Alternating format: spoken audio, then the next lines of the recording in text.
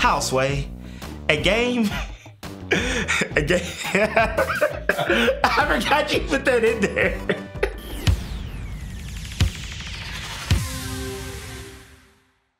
Hey guys, I'm Odell and this is the Game Fanatics. So we're right past the halfway point of the year and we've got quite a few AAA heavy hitters coming out this fall. That got me thinking, what are some of the games that are lesser known or titles we've been waiting for so long that they have fallen off the radar? Here's a list of our top 5 games still coming out in 2017 you may have forgotten about. Everybody's been having fun with Forza Horizon 3. They've forgotten about the next great racing game, Forza Motorsports. Wait, wait, there's a new Need for Speed game? I had no idea. That's a much better pick.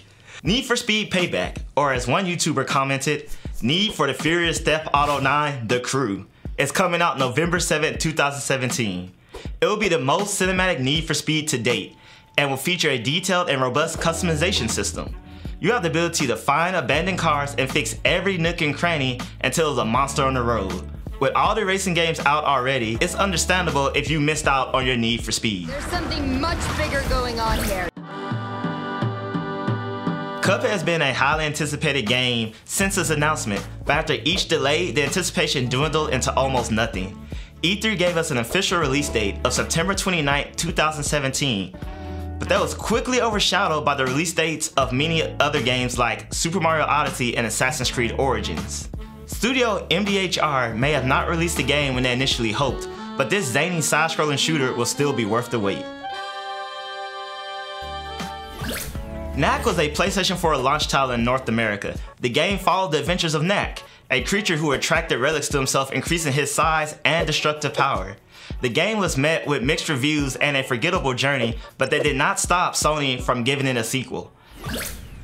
So, this is a game that you probably thought was already out, and I don't blame you. It sold 5.5 million copies already.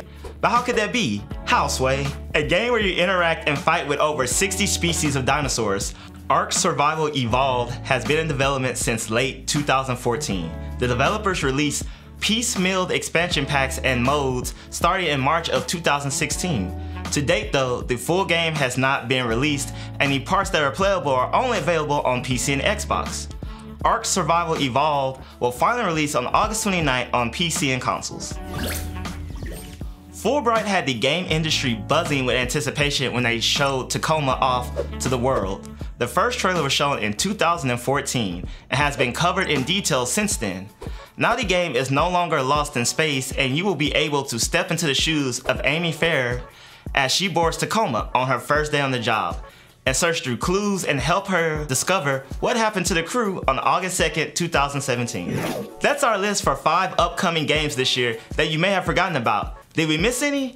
Do you remember all of them?